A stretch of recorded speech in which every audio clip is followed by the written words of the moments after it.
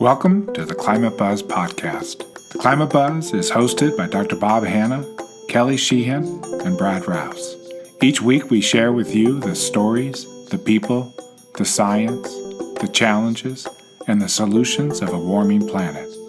We invite you to like and follow our Facebook, Instagram, and YouTube pages, where we promise to keep you up on all the latest climate buzz and share the links, information, and footage discussed on the show. The Climate Buzz originally aired live on Asheville FM, a nonprofit, volunteer powered community radio station based in Asheville, North Carolina.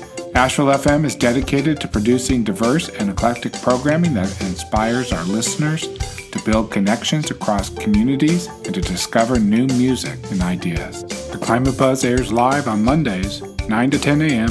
Eastern Standard Time, and can be heard locally on 103.3 FM and streamed and archived at www.ashevillefm.org. Today's show first aired live on May 29, 2023 on Asheville FM with Dr. Bob Hanna and Brad Rouse and guest Harper Robinson with Conservation Pros. Enjoy. Well, look who we have back in Hey the studio today. It is Mr. Brad Rouse. Yeah, buenos dias. Muy bien. My goodness. Great dog.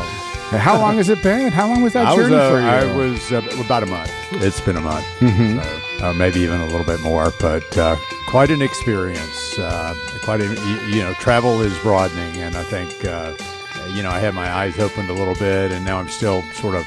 Well, we got back in late last night, so still you know it's mid afternoon for me right now. So I am so impressed you are here because I'm gonna, I'm gonna say he's got to be just exhausted to to fly all the way across Uh, the Atlantic Ocean and then um, be here this morning flying to do the e- show. uh, flying is easy. flying is easy. It was an amazing conversation with a yeah. young quantum physicist next to me on the plane yesterday who was doing our postdoctoral work at MIT. Uh, so we, you can believe, we talked about Oh, I bet you sci-fi and a lot of other stuff. about, yeah, we did. We did.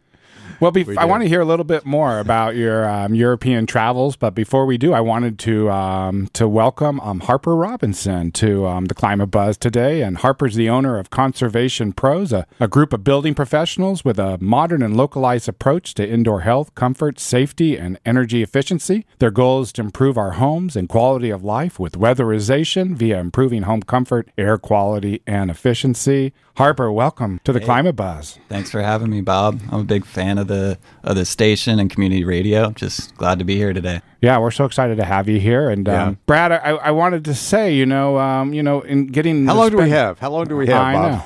I know. We'll see what we can do here. We got a lot. We got a lot on the show today, but you know, you got to spend a whole month in, in- over in. Um, Yeah, Spain and Portugal. And so I'm curious, you know, what what kind of really jumped out at you in in, in as far as you know, green living over there, Yeah, efficiency, so- just you know, what it was. so many Yeah. so many things um it's a stark contrast and and I, I would say first it was a stark contrast coming back into asheville last night and just feeling the greenness of of our landscape and after these rains that we've had how we're the earth lungs to some extent uh, right here that it that it's dry over there Yeah, well, it was last summer, right, where they had the extreme Right, weather right. and then they had the extra. You know, it's and it's and it's climate weirding because they said they were really, really, really worried because they had had such a hot April, and then May was like cool when we, you know, we I was wearing uh, a you know a hoodie and my sweatshirt, my Springsteen sweatshirt, for a lot of the time while I was over there. You know, so it was um, it was uh, not as warm as you would normally, and that of course that's why we chose. We knew the heat was bad. We just, we decided to go in May uh, as as maybe the best month to travel over there, but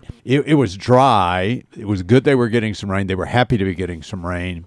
Um, that that there were seemed to be a great concern, and you know we had a for two two weeks we were there. We had a tour and we had tour guides, and the guides mentioned climate change and the impact and the impact it was having.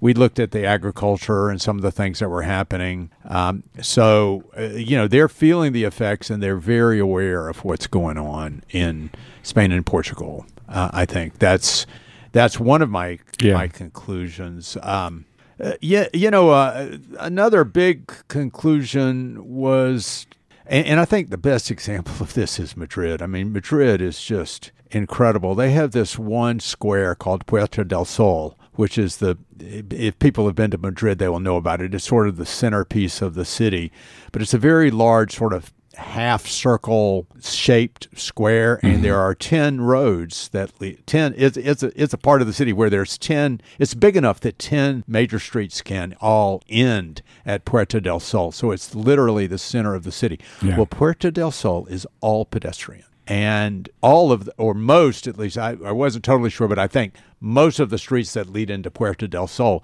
each for a, a, distance of four or five blocks i mean you know city blocks of of distance into the puerta del sol are all totally pedestrian yeah. So the crowds are incredible um, of people just walking everywhere, every walk of life, different things going on. The people watching is just absolutely amazing. yeah. And the, the, cultural difference between sort of our car centric cities and yeah. the center of, of Madrid um, could not be more profound. Yeah. Um, and so it makes you think about, well, what are we doing here? What's our life really about? And people seem to be happy they obviously, you know, they don't have cars nearly as much. I mean, I'm sure car ownership is still high because there are a lot of rural and suburban areas, but I thought that was really interesting. Well, you see a lot of smaller cars on the road over you do there. See, you know, you don't see this proliferation of SUVs everywhere. I didn't see any to speak of. Yeah. I mean, uh, you know, and some of them are electric, but they're they're, they're beginning to adopt the electrification. Um, uh, the way it, it, may be a little bit faster than we are. Um, I did see a couple of Teslas on the street, um, so that uh, you know they're making them in Germany now, so they're they're getting over there. And um, but so that and and just in all of the cities that we were in, we were in uh, you know Lisbon and Granada and Sevilla and Malaga, Malaga. Uh, it was really, you know, they all had sort of this pedestrian feel where in, in Barcelona, where Barcelona you could walk. I sort of wound my way to went into the city and and did yeah. a, a Google map. Okay, how am I going to walk back? And it was like a mile and a half, and I I was able to go almost the whole way on pedestrian walkways just by you know sort of staying off the main roads and the cafes. The you know it's really yeah, a, the markets, a cultural thing. The markets, the, the bookstores. It's really just an incredible. Yeah you know, and, and we glory over little snippets of that that we're, I mean, you know, people complain about the Merrimon Avenue road diet. I mean, come on. Mm-hmm. It, you know, that is such a small distance that we've gone in terms of creating a pedestrian friendly, livable kind of a, pla- uh, yeah. of a place. It's so, great to see um, the bikes um like going down Charlotte right now, right? You know, because they created a bike lane finally right. for for people that you know live in North Asheville can now bike into downtown. Right. So I and I think a lot of that is sort of them never having left the old ways. But I did yeah. notice there were a lot of city squares where it looked like there had been you know because this city was built before there was any cars, you know. Yeah. So where they had taken out some of the um, uh, amenities for the cars and blocked them off, and where they had become more pedestrian over recent years. Yeah. So they weren't getting more automobile oriented. They were, at least in the cities, getting less automobile oriented and I saw a lot of, you know, I saw a lot of renewable energy out there, you know, windmills all over the place. Uh, yeah. I took the high speed train from uh, from Malaga to Madrid, and uh, it, you know, we were going over 200 miles an hour there for a wow. while. And the landscape's just whipping by, and you know, you can, you, you, it's really kind of an amazing. You go center city to center city. I don't know if we'll ever get that in this country, but but that was another aspect. It sure seems like uh, an economic opportunity, you know, to create high speed rail between our cities and and, and get people out of airplanes. And, you know, it seems like we've got the it's why can't we do that? One would think one would think that we would do that, but you know it does represent a, yeah. an incredible incredible investment where we have so much already invested in our highways. So we'll we'll yeah, we'll see. But I, Americans I'm, I'm love to spend money, right, on projects and stuff like that. So well, I know we are so car centric, but the future and, and the urgency of climate change says we got to change that. So, right, right. Harper, have you been to Europe before? Have you got an opportunity to? to I've never been. No, I've never been to Europe before, but um, I was just thinking about uh, you know, I, I don't know what I'd do without my minivan right now because there's not really public transportation to take, you know, the, yeah. the well, and, bus- and, and businesses, businesses, um, you know, they they have their their equipment and their you know they they have businesses that do things just like what we do. Yeah. Um, uh, but you're right, Harper. There's just no way in this way. You know, when you if you live out of town, how do you get to town? You know, there's no public way to do that. You know, to help people uh, move. So, yeah, you know, we are right. so dependent on our cars here. but I understand, you know, every time I drive, you know, and fill up that gas tank. well, yeah, well, yeah. In, in fact, with this physicist that I was talking about, the differences, and she's from the United Kingdom. She was from the United Kingdom, and um, you know, I think uh, one of the things I found is that in Europe, gasoline is very expensive, but booze is cheap. so you pick your poison. and you know, just compare. You know, these restaurants. I mean, you can get a glass of table wine, which is really very good wine. A lot of times, it's local wine for three, three, three fifty euros, which is you know yeah. about three eighty five or something like that in dollars, and and a beer. You know. Yeah. The, the, the, the, the you, you, don't pay like 12 13 dollars for a glass of wine the way it seems like we do here in Asheville when you're out at a restaurant. And and people are eating out all the time. People are out. I, I, an amazing cultural thing is we were in, in Malaga and looking out at about at midnight out of our window, and, and we could see the beach um, over there across the street. And there were a bunch of kids looked like they were unchaperoned at midnight playing on the beach, playing like a game of volleyball or something. I mean, you know, these yeah. were like five, seven, nine year old kids. I mean, like that that is different from what happens yeah. um, you know, in our in our country. So I, am I'm, I'm still sort of, and you know, of course, I saw Bruce Springsteen in Barcelona. that was quite an event. I bet. Um, we saw a lot of the pictures. Obama was there. President. Yeah, Obama, Obama was, there. Well, he was there two days before. He was there, there two days before mm-hmm. we were there. But he, yeah, he was there, and uh, and one of the things that about Barcelona, I mean, it was about fifty thousand people at a, the Olympics, the old Olympic Stadium in Barcelona. And I'll just contrast it to going to see Springsteen in the Greensboro Coliseum. Yeah. That in Greensboro Coliseum, you've got a very nice arena surrounded by a giant, giant parking lot that can fit everybody. In Barcelona, there was not a parking lot to be found. Yeah. And there were streams of people walking in from all directions and other people taking Ubers or cabs yeah. or whatever to get to the to get to the event so that it's just a and they were not as well organized. I will say the Greensboro Coliseum had their act together better about getting people into the stadium. I must have waited in a mile long line to to get into what I thought I had prefer uh, really good seats, but I you know it was a long line to get in. That reminds me of the um, L.A. Coliseum. You know, in L.A. is is there's no parking lot around the L.A. Coliseum. You know, when Man, they don't have mass transit in when, L.A. How do they when, do it? When people come to the event, well, you know, there is mass. Actually, there are electric um, trains um, okay. that that come from a lot of different directions in L.A. That kind of kind of all kind of there's a hub, a bus station in in downtown LA, which would be walking distance to the Coliseum. But you know, a lot of a lot of local people, you know, um, who have businesses and such, will offer their business for um, events to park, you know, for ten or fifteen bucks, twenty bucks a ticket. But there is no big parking lot to get everybody in at the Coliseum, which is, you know, that thing has been around a long time too, and probably and modeled somewhat after European right, um, right. stadiums and such. So yeah, well, we're so good to have you back, oh, Brad, yeah. and um, back in the studio. And a few things have happened in America while you've been uh, gone. well, on, you know, the we, climate the news, internet so. lets me keep up with the news. So. and one of yeah. the big decisions that um, happened over the last week is um, the Supreme Court on this past Thursday um, curtailed the EPA authority to regulate certain wetlands that qualify as waters of the United States under the Clean Water Act. And this comes on the heels of the Supreme Court making a decision on emissions from um, from from big factories and such that um, is also um, EPA is now curtailed in what they can do in, in regulating that. It turns out that um, wetlands make up about 5.5% of the land in the continental U.S., according to the EAP, and they call it some of the most productive ecosystems right. in the world, right. comparable to rainforests and coral reefs. And along with providing habitat to various plants and microbes, they're also vital in buffering flooding and erosion, a factor growing in importance as storms become more frequent and severe amid the deepening climate crisis. And this, this goes way back to, to something like 2007 when this case first came on. There was a, um, a, a, family, a couple that um, actually, uh, Priest Lake in Idaho, which is not too far from where I live. When I lived in Sandpoint, Idaho, it's kind of in that same area. And and the Sacketts wanted to to build a home that was near a ditch that, and this ditch had water that flowed through it. and the ditch kind of hit to a stream, which then the stream fed to the um, to the Yeah, Priest Lake, right. and the EPA came, and so they they wanted to flatten out the area, so they brought a lot of dirt and gravel and stuff, and started to flatten out the area.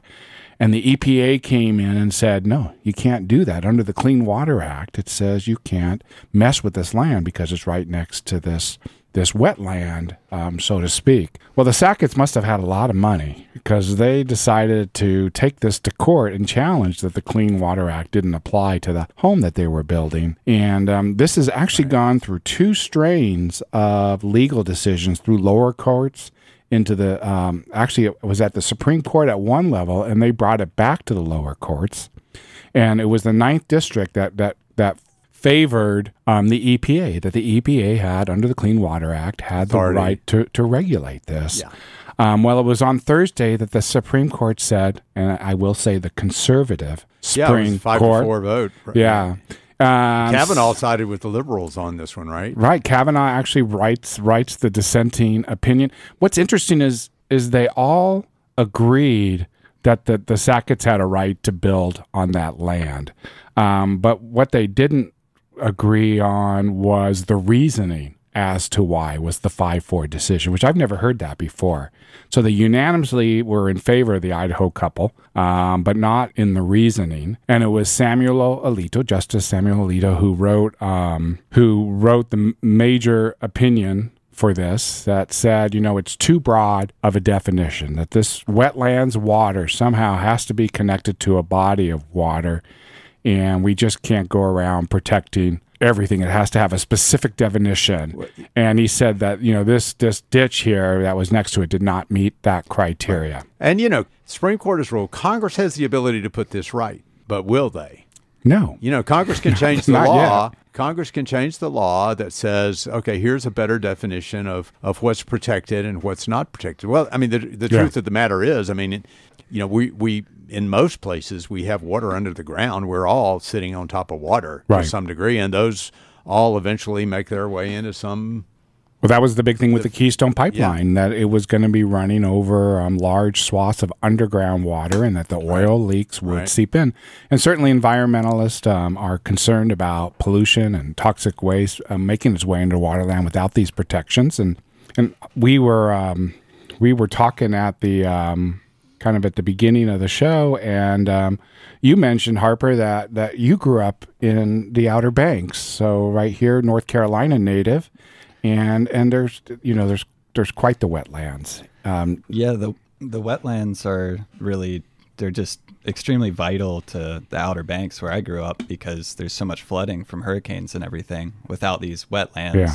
the Outer Banks could be so much more vulnerable. It's already an extremely vulnerable place as far as climate change is concerned.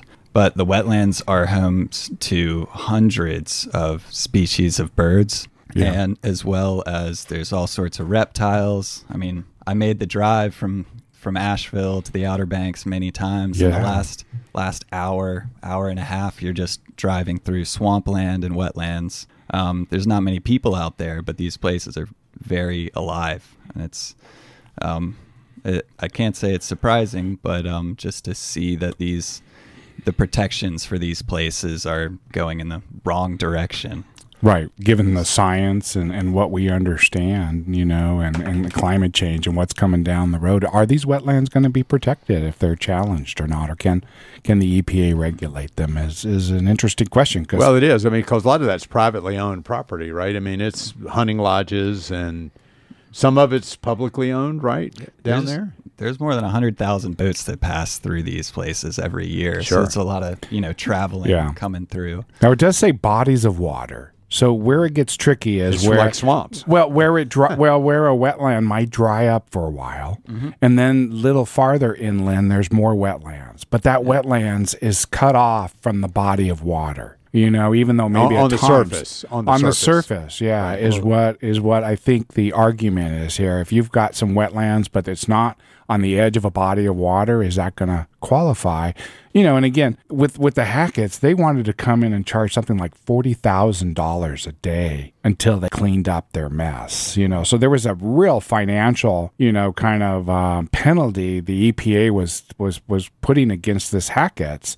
And the question is, and you know, does the law, does our government have the right, you know, to penalize somebody and make them pay that kind of money? You know, Well, for it's not- violating the Clean Water It's Act. not even that question though, because the government, I think, does have the right to do that, but they're saying that the legislation doesn't apply, doesn't doesn't It's too doesn't vague. give them the right to do it. yeah. The government, through legislation, could make the changes, but if the legislation that exists, the government Mm-hmm. can't sort of arbitrarily say, "Well, that's what this legislation means." Yeah. If the go- if if the Supreme Court says, "Well, no, that's not what it says. We don't believe that's what it says." I mean, that's the argument. But, I um, mean, in, in the end, it's bad for the environment. Which I mean, we should not Yeah. be doing this. Yeah. We should be setting aside for nature. we these wetlands do move around a lot. I mean, from season Yeah. to season, some of them are, are swamps for half the year, and the other half they're they're a drier wetland. But just the importance they have for climate resilience is amazing because we are at all these risks for flooding and large storms, and these these wetlands not only protect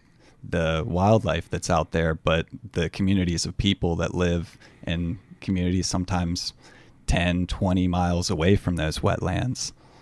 Yeah. Sure. I mean, it seems obvious that we, you know, We, I mean, we. pollution, right? We need to stop pollution and toxins from getting into our environment. You know, that But seems you know, like we, a you know, we, brainer. we need to stop destroying the natural habitats in order to allow expansion of our. I mean, that's not even necessarily pollution. It's just destroying. It's destroying the natural habitat that's so vital to provide services to everybody. yeah. That isn't included in the in the cost system. Yeah. Yeah. Well, we got time for a couple more stories, Brad. You said you kind of came in with uh, one th- today. This is totally different, but Yeah, um, turning I was really amazed to read this week that um, Ford and Tesla have have developed a partnership where t- the Ford electric vehicles are going to be able to use um, all of the Tesla superchargers uh, by 2025, and all new Fords in 2025 will come with dual types of plugs. So you can you'll be able to plug in a Tesla adapter or plug in the standard CCS adapter, which is gives will give Ford with that the best charging network of anybody, including Tesla. Mm-hmm. Uh, you know, I'm sure they're having to pay Tesla for this. To, to Oh, you think? degree. I would think, um, but um, it, uh, it it it it really is Speeds things up, it- right? well, to get Ford off the really- ground and, and well, it really and it really, um, you know, solves the range anxiety problem, which for Tesla drivers really don't have a range anxiety problem, but it'll also solve it for new for new Fords, and uh, you know, it may also portend that you know, you know, people realize that the Tesla has got a better charge connector with a better charge connecting experience than the other vehicles do, um, because it's lighter, it's easier to manage, it it's just a, a much more elegant, simple technical solution. Supposedly, the other standard that's used was has been described as a charging system designed by committee. So, you know that that is it's really just a, a big move, and it's going to put pressure on the other automakers, and it may eventually lead to a rationalization of this. And I think we've talked about it this in the show before. You've got Tesla with this charging, which is really excellent and uh, like ninety nine percent reliable, and then everybody else with a hodgepodge of things. Yeah, so yeah. we'll we'll see. But that's I thought that was big news and and positive. A couple things happening over in Europe right now. Um, over in the Netherlands, over 1,500 climate activists were arrested um, uh, in a demonstration um, by Extinction Rebellion. Oh, and um, they were um, wanting to end fossil fuel subsidies. And um, they gathered on a highway and blocked it, and the the police came and water cannoned them. You know, um, they the the the um, the the activists said, you know, it was only within 15 minutes that they they kind of responded to this action to clear the roads. And ultimately, um, about 40 people are going to be charged, but most of them um, were just kind of arrested to get them out of the way so that the, the roads could go on. And so uh, people over there are fighting. And then in Paris, um, there's a meeting um, to talk about um, plastic pollution to continue conversations. It was about a year ago in Africa where um, nations came together under the United Nations to um, address um, what many agree um, is, um, you know, plastic is being produced. It's it's it's a material that's that's being produced more than any other material in the world at this point, and um, people are, are are, are realizing that only about 9% of waste recycled um, from what we have now 460 million tons of plastic that's produced each year and they expect that um, it will triple yeah. it will triple by 2060 but they really believe that there's things that they could do to reduce it um, by 80% by 2040 using existing technologies and making major policy changes um, that yeah. include, you know, stepping up um, reuse and recycling. Um, they say that 40% of all plastic manufactured today is for packaging, most of it disposed within minutes of open, opening it.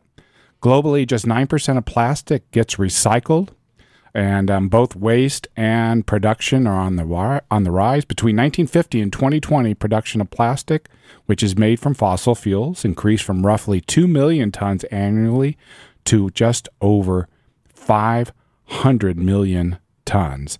And production is projected to further increase to 1 billion tons by 2050. And we're drowning in the stuff. Yeah.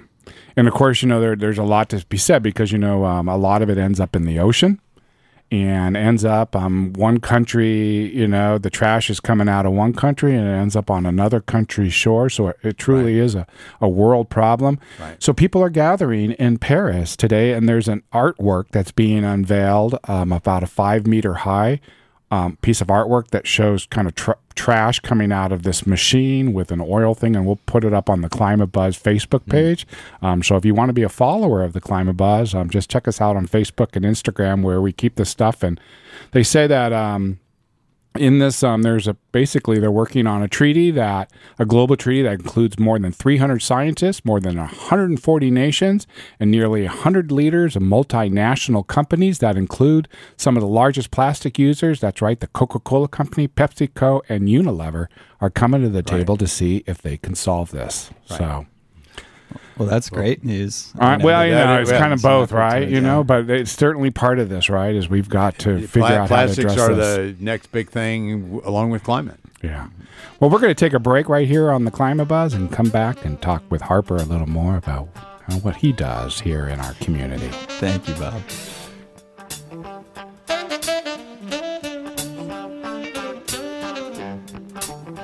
This is the Climate Buzz here on Asheville FM. I'm Dr. Bob, along with Brad Rouse. Kelly Sheehan's taken the day off, and um, joining us today in the, the studio is Harper Robinson, who's the owner of Conservative Pros, a group of professionals with modern and localized approach to indoor health, comfort, safety, and energy efficiency. And um, Harper, we're so happy to have you today on the Climate Buzz. And I thought we'd start with uh, just. Well, I, I what just, do you got, Brad? Well, well, just to say, it's conservation pros, not yeah. conservative pros.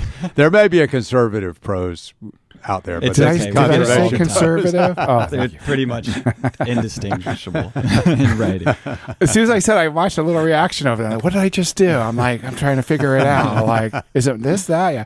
Conservation. Right. And, and, and, and I was saying, Harper, I want to hear about your business, but I have, since I first came to Asheville eight years ago, heard of conservation pros as kind of the go to people and thought of them as the go to people for energy efficiency and green, these sort of re- renovation of your home home in a green way, and yeah. and, and you know they're the people that can really do the job for you. It's kind of what I so go, go tell us about it about all of that. Harper. Well, thanks. Before Brad. tell us a little bit about you and how you kind of became interested in absolutely yeah in conservation and energy efficiency and climate change, right? Yeah. So I kind of felt uh, climate change as as a calling for me um, to dedicate you know as as much as I can of my time and uh, it started out just growing up on the Outer Banks uh, from the Kill Devil Hills and Nags Head area, where it's extremely vulnerable as far as climate change goes and rising sea levels. You're talking many of our roads are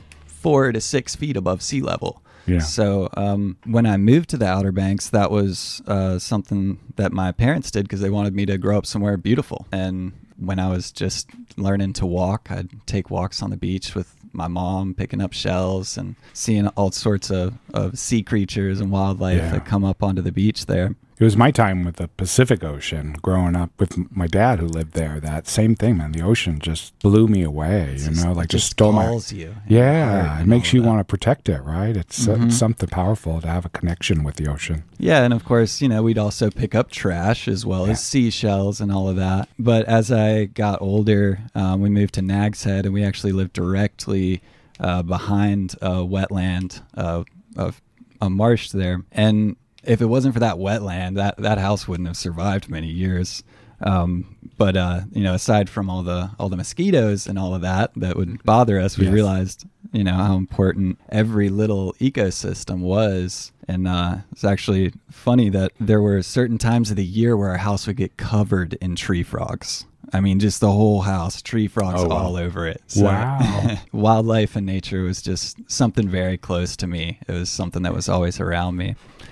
As I also watched many hurricanes and just the strength and the power of nature, um, I was fascinated by that, and uh, I found it kind of exciting at the time. But later, realizing how uh, how much destruction and devastation there is from these storms to the Outer Banks, and just wanting to protect that. By the time I was in middle school, me and my friends would would talk about the the sinking island we live on and all of that. And there turned out to be a lot more truth to that as I as I started to understand climate change and what was going on as a result of Yeah, I wonder how they're going to protect that area as as the seas spend- rise. You know, they and- spend more than a hundred million dollars a year just trying to dredge up sand Yeah. but um, Put it on the well. Put it on the beach because of both sea level rise and and storms and and just general erosion. The beaches are what drives people there. Tourism's the big industry, right? Without the tourism, there wouldn't be the money to protect it. Yeah. But- so there's a balance between it all. So I ended up learning about appropriate technology, which is now called sustainable technology at Appalachian State University. Uh, my brother went to school there before me. And I went up there, uh, learned about about a lot of renewable energies as well as just general sustainable development, and just got a lot. class, or did you major in it? This or is my major at Appalachian State. when did you decide to make that your major? Um, it just made perfect sense to me. So Okay. it was funny. My brother, I actually told my brother about what he majored in, and he was like, "That's right down my alley," which is graphic Mm-hmm. design. And then uh, he mentioned hit, my roommate does appropriate technology, and I looked into it, and I was like, "Well, that's what I want to do." Okay. so we kind of chose each other's Yeah, majors yeah. out there. Um, but I got to really hands on. I got to tinker with solar panels, and I got to um, learn about about buildings and how we build them and how important they are. Um, how much energy we use comes from what we use at home, uh, not only transportation and manufacturing and all of those things that we understand. yeah. Um, so after graduating, I, uh, which would have been uh, 2012, um, I moved up to Asheville. I loved it up here. Uh, I should mention just how much I love love the mountains and uh, just love hiking, camping, getting outside, and being in nature. When I moved up here, I had a little struggle to find a job doing uh, solar stuff. That's what I thought I was going to get into, and I had the opportunity. I have some family from the Dominican Republic, so I got to go out to the Dominican Republic and I just kind of went there, figured out my internship while I was there and everything. I was an electrician's apprentice for a while.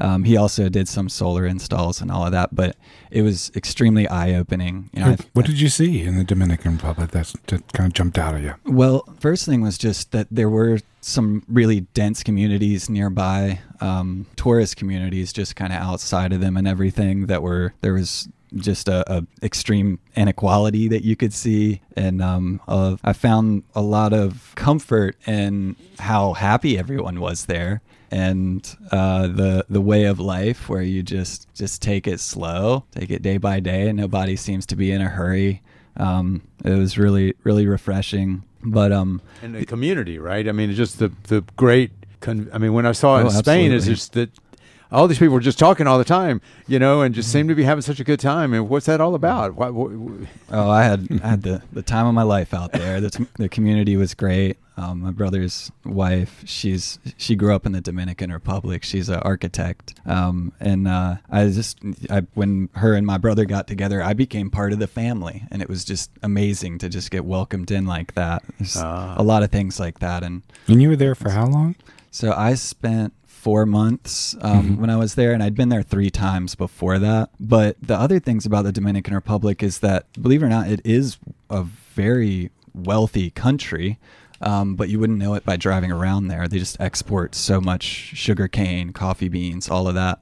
Um, but you wouldn't know it because of the inequality that goes on there. And the electrical grid is completely unreliable. So many people can't afford electricity that they just steal it. They just hook right up to the power lines. Like Um, like cable in I, America. I won't. I won't say his name, but the uh, when I was an apprentice under an electrician, he did a lot of uh, a lot of work on the weekends for free to help out um, various like mission trips and that sort of stuff that were building homes for people. And uh, I, I watched him tie that power in. It's a little different than we do it in America, but nonetheless, a place like that, you know, the grid is just it's not ready for switching to renewables, even though the resources are everywhere Yeah. so it was it was very eye opening. Um, were, were you noticing too um, the energy efficiency of the homes too that that are there? And well, you know, it's it's so close to the equator Yeah. that you you hardly need air conditioning. So Yeah. if you design your home right, you you're hardly heating or cooling. You're mostly you know heating water, uh, those other things. and they have a lot of solar. Don't they have? Did they have a lot of solar water heaters where the, the heaters are actually on the rooftops and yeah, those were very, very popular up right, there. right, Um, those are cool because they're just collectors that just heat. right. Well, you, because it doesn't right up. freeze, because it doesn't freeze, you can make a much simpler system than doing that same thing here, where you have to use antifreeze to um, as the prefer, as the Yeah, and- energy transfer mechanism. and the power is so expensive that it makes so much sense to do that even with all the piping and panels and all that that's required to make Right. one of those systems. Anyways it was it was another beautiful place and I, I learned more about electricity which I, I find really really fascinating. So when i came back to asheville from the dominican i decided that i was just going to look for an internship keep working at restaurants do that sort of thing. Um, and I was I uh, got in in I got to be an intern for Conservation Pros, where we were actually at that time doing free energy audits as a part of this uh, Clean Energy for Us campaign that was going on. It was trying to couple solar with building efficiency, um, and uh, my my business partner Marcus was the owner then, and his wife Sarah we were he was doing so many energy audits he was just drowning in them so i got to jump on a lot of those and then i also got to do a lot of the really fun work of climbing up in hot attics and digging through insulation and uh, you know crawl spaces all, all those places that most people don't like to go i um, faced all my fears down there i used to be terrified of spiders but this- oh, this spiders, snakes, bugs. I can't even imagine. I've done it a few times, and it, to be doing that all the time, that's impressive. So it, it's no wonder that I didn't really know or hear much about weatherization when I was in college because solar is so much more exciting and pretty and shiny, whereas uh, weatherization is a lot more dirty work where you're you're yeah. um, it, it's hard work, but I actually I do enjoy it a lot too. Right. Well, what you're saying, right, is, is getting into those crawl spaces and those where where you know Yeah, we it's- have a lot of leaking, we have Mm-hmm. a lot of inefficiency going on, and um, Yeah, and It- a lot it- of poor workmanship down there, just from Right. folks who did some work down there that were just trying to get out of that crawl space, and issues can get left for many, many years. Uh, I, I'm I'm a problem solver. I've I've always loved to tinker. I'm the kind of person that was taking stuff apart and putting it back together. I used to do the same with my musical instruments back in the day. I'd take them apart just to to rewire them and do all that. But um, there's so many uh, issues in buildings, and there's it's so interesting in Asheville the the spread and when these buildings were made and uh, how buildings of different ages have really more more specific needs and that a lot of the the solutions that we develop to try to make homes more airtight by by air sealing you know we want to keep their heated and cooled air in that sometimes that's the focus. Sometimes buildings need more just insulation upgrades um, and sometimes there's just a like a broken duct that's just dumping air into a crawl space or something like that that uh that just was never never addressed or nobody ever found it so Where it broke, right? I mean, or it bro- it, yeah, or something just chewed through some- it Yeah, you just yeah, something chewed through it, or Now, when you're saying buildings, are, are does, does, does Conservation Pros do they work with both office and and and home and government buildings? Is it kind of any kind of We're- structure you're gonna? and mu- multifamily single. Yeah. yeah. No, we're, Apartments? we're really focused on uh, single family residential homes. Okay. I'm an energy auditor, and then I have another energy auditor who, who works with me to provide the estimates and do the inspections and everything. And I, I do these analyses called an energy audit on a home where I will crawl into all of those spaces, and I'll also use some fun diagnostic, sciency kind of equipment to really find out what's going on and to be able to know for a fact where do we want to invest in reducing your energy you know where to start because we know many old homes you can go any direction with that there's so many things that you know where you're wasting energy but just trying to find where to start or what's most important or worth spending your time on um, that's what the energy audit's all about and then we have I have three crews, uh, wonderful.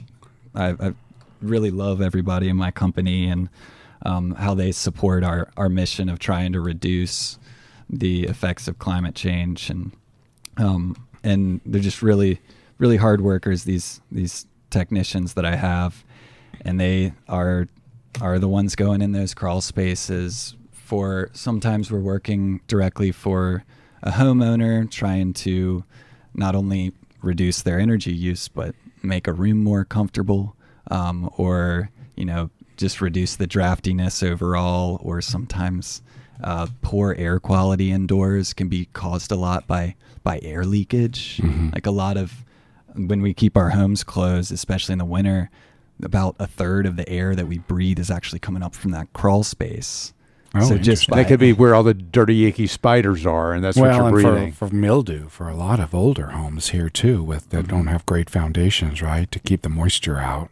Is, Yeah. is a big deal for those old homes. So what it comes down to is there's just there's a lot of aspects involved in weatherization to try to not only make homes more efficient, but to make them healthier, to make them easier Yeah. to live in for the people who live there.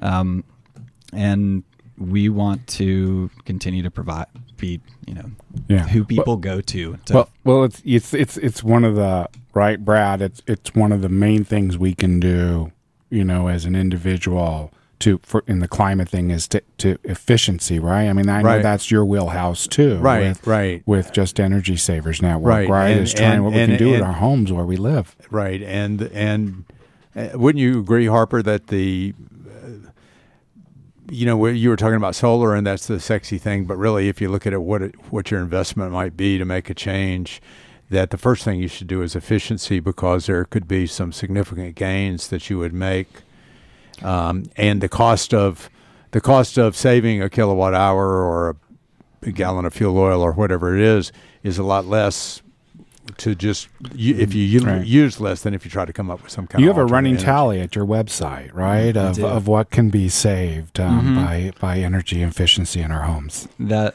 yeah, there's there's a, a counter on our website where I did a um, a little study and looked through all of our, our previous projects and how much money or how much money it's saving people, so the economic benefit, how much carbon we've reduced, um, which turned out being the equivalent of something between 20 and 30 homes, Right. kind of taking those off the grid. See, most homes are wasting between uh, 20 and 50 percent of their energy that they're used. So Wow. if we can, if we can cut back on that waste, uh, yes, some homes they only have so much solar access, or so, or their roof is only so big, so they can't just convert to renewable energies. They have to start using less first, and lo and behold, a lot of these, uh, a lot of things that'll reduce your energy use are going to make your house a little bit better too, and last longer and be healthier. Um, there's all sorts. Of, I'd love to uh, talk a little bit about um, what's available to people to help weatherize Right. their Well, yeah. homes. ha- I mean, and well, this new Inflation Reduction Act. I mean, it really changes the landscape for you guys, right? And and for people who might want to use your services. Is that Absolutely. Um, and it it's slowly changing it right now, but there's a lot more. There is a low income weatherization program that's been around for a long time, which now has gotten more funding through uh, the IRA. Um, also, it looks if you uh, qualify, um, or if you're not sure if you qualify, you can reach out to um, community action opportunities around here. Um, they they're taking care of the low income weatherization for residences, um, which includes a lot of uh, insulation and air sealing upgrades at no cost to the homeowners or the tenants. Um, in addition to that, the IRA it came out with uh, almost a, a billion dollars, which is going to go to low to moderate income homes. So that's totally new. This can be up to eight thousand dollars that will become available in tax rebates to people to help Im- improve their home energy efficiency through new heat pumps, new insulation upgrades, air sealing work. Um, and this is still working through legislation. So we're keeping our eyes peeled as so? That's this that's funding becomes available. really. You- Mhm. You haven't seen that actually in practice yet. Yeah, that- it was supposed to, you know, they were supposed to figure it out towards the the end of last year, but it's looking like maybe the end of this year we might. and this um, is for anyone. It, it's not you well, have this to kind of moderate Yeah. income, right? It's, uh, Yeah. it's in- income So- limited. So but then for anyone, there's also stuff for for just everybody, right? Uh, tax Mhm. credits, right? That we didn't have before. Yeah, and as a part of that, it's called the homes uh, rebates, and as a part of that, it's not just to those moderate. The you know low to moderate can get up to eight thousand dollars, which could be a whole energy efficiency retrofit. But also, people above moderate income who don't qualify can get four thousand dollars, and it's really cool. You actually get an energy audit. That you'll um, the energy auditor will be able to figure out how much you'll save by different improvements um, using different calculating tools and all of that. And and then if you save enough if you can save 30% you can get a whole lot of money to um to to help improve your home. And on top of that there's another million dollars going towards another um, another rebate system that they're still figuring out at this point but we're just going to keep putting articles up on our website every time we learn something new and in, in the website's name, Harper. Uh, at conservationpros.com. Just that simple, Pretty yeah. straightforward. Well, we got to take a short break right here on the Climate Buzz, and we'll be right back. Okay.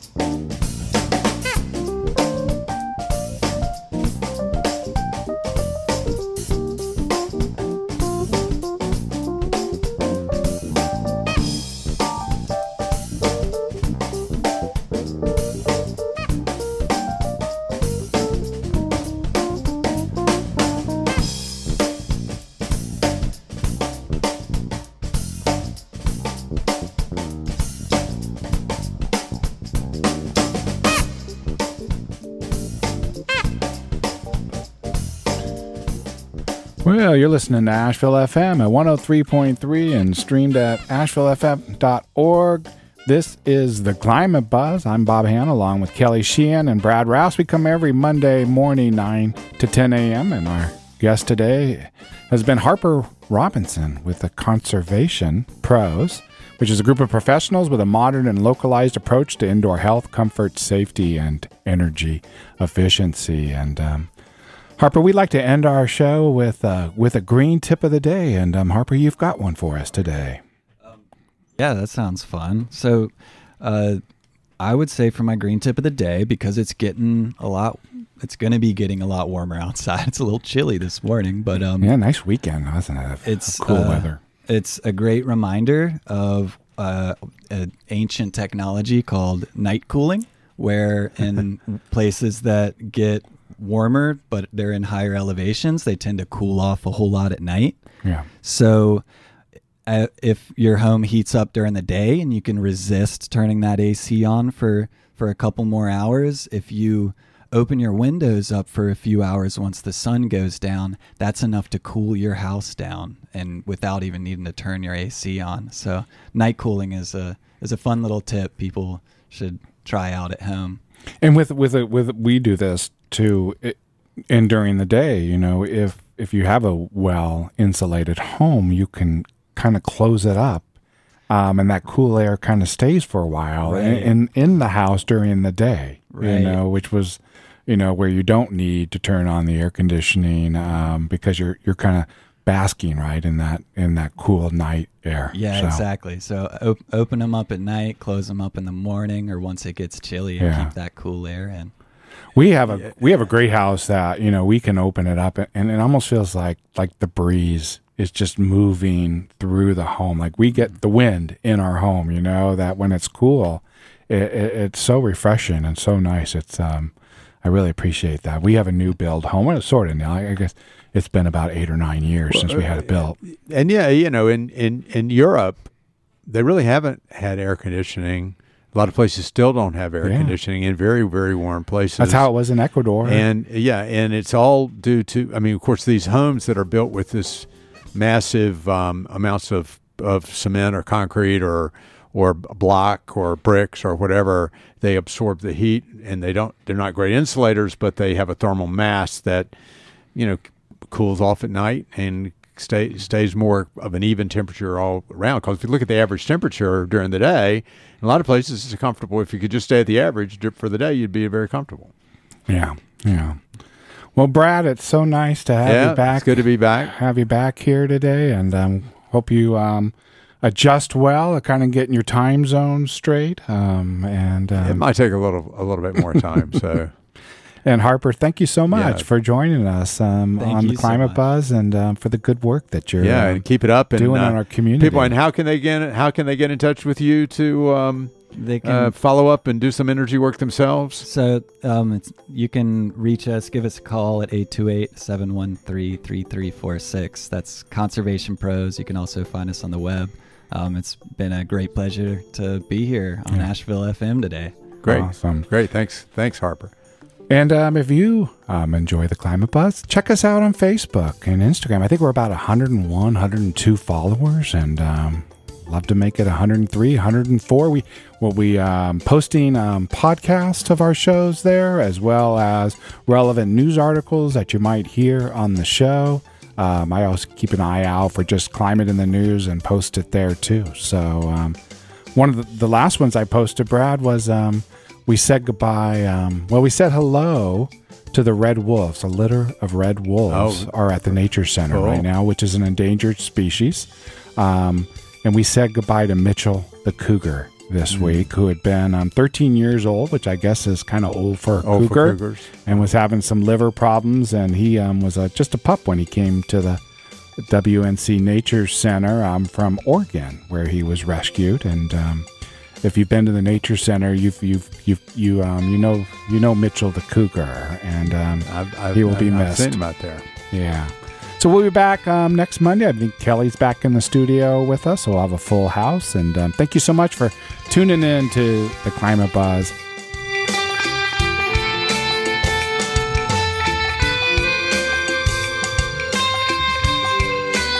Thanks for listening to the Climate Buzz podcast. If you enjoyed the show, please share with your friends and find us on Facebook, Instagram, and YouTube, where we promise to keep you up to date with all the latest climate buzz. We invite you to check out Asheville FM at www.ashevillefm.org, where you can listen live, go to the Climate Buzz homepage with archives of our latest shows, as well as explore all of the wonderful Asheville FM radio programs that inspire our listeners to build connections across communities and discover new music and ideas.